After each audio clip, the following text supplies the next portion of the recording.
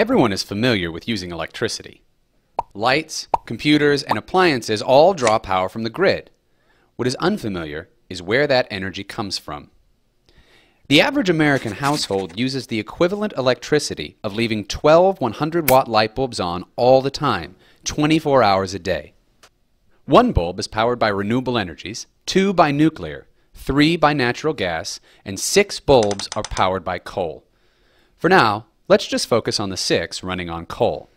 This represents the average American home. Four occupants, two are male, two are female, and they are still running six 100 watt light bulbs powered by coal.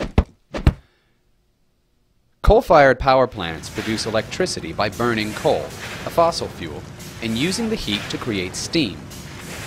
The steam rotates a turbine, which turns a generator, creating the electricity being used by the six light bulbs in each household of four people.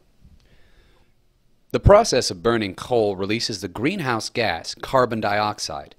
To run the six light bulbs in each household, coal power plants emit the equivalent of one balloon's worth of CO2 per house every five minutes. This is one minute going by every second.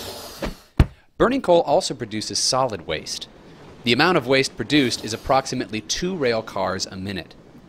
Coal burning is highly toxic, and the people living close by are immediately affected. Coal power plants cause one in every 10 women to have mercury levels unsafe for having children. When we view the effects of coal burning at an hour every second, the numbers start to get big. Each house still has six 100 watt light bulbs, creating 12 balloons of CO2 every hour. The solid waste coming from all the coal plants is equal to 114 rail cars every hour. Everyone within five miles of a coal plant is directly affected by its pollutants and waste.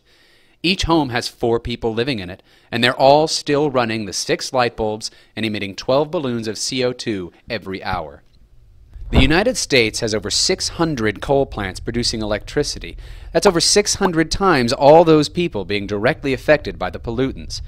After adding the rest of the population of the USA, each four person home burning six 100 watt bulbs running on coal power, we're seeing 19,360,000 balloons a day and 2,740 rail cars a day. As we watch our atmosphere filling up with balloons and the rail cars of waste piling up, we need to consider one more thing. As we move forward, the demand for power is increasing. If we stick with coal power, the U.S. would need to build 100 new coal plants to meet the demand. Not to mention that the train of rail cars full of waste, by this point, would wrap around the Earth eight times. So, what's the solution to all this?